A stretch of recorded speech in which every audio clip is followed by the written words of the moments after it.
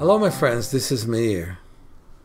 I would like to encourage all of you to come to my class on April 27th through May 1st to learn how to work on you and also to learn how to coach others to work on themselves. This is not my full training.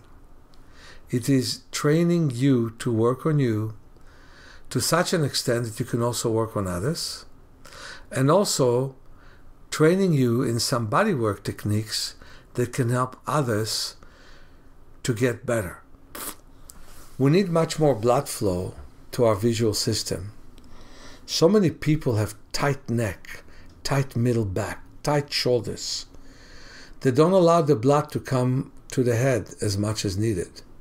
Sometimes people can be very strong and look very fit and still are very, very tense.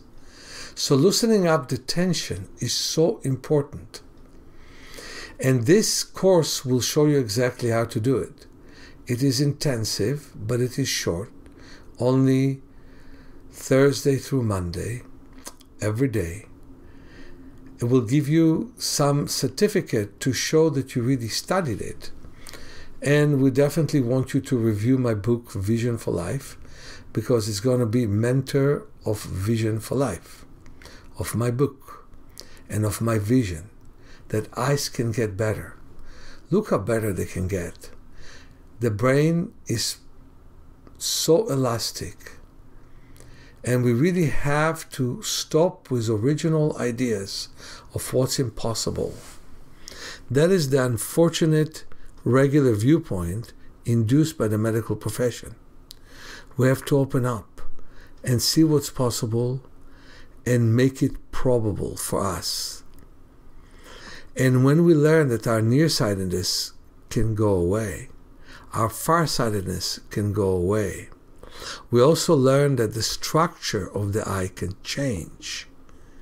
Just recently, one of my clients called me to tell me that after doing eye exercises, and some of them in the doctor's office where she went, the narrow angle that she had for her glaucoma have widened. This is definitely a possibility. In the body, many people think that if somebody is hunched, they cannot become straight, but they can. And in the eyes, people believe that if the eye becomes long and the picture falls ahead of the retina, it can never shorten, but it can. They believe that if the lens is stiff, it can never become looser. So then you cannot read from near. But you can read from near, and the lens can be loose. This is what I want to teach. Now, I don't have as much enrollment as I'd like to have in the class, and I like the help of those who listen to this podcast. We have beautiful brochure that we can send to people, and even if you yourself do not have time or the means to take the class, please let us know that you would like to have the brochure. We can send you two or three or even five so you can hang it in health food stores, send it to people, and help other people to come to our class.